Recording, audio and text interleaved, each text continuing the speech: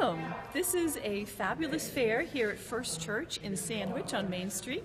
It's about 20 years worth of um, events here that we have co- continued with three floors of, of different booths where there are food items and we have raffle baskets and we have a silent, wonderful silent auction. And we have crafts and a lovely cafe to enjoy. We are a two day event, so please join us.